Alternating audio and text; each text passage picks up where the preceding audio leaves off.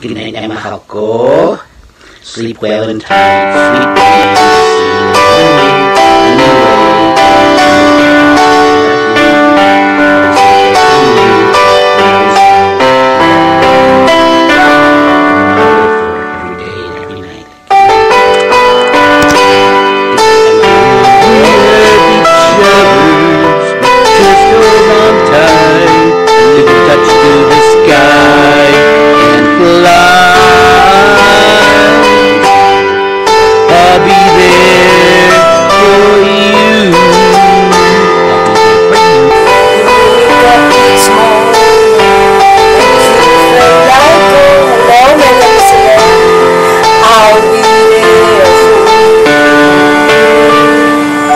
Amen.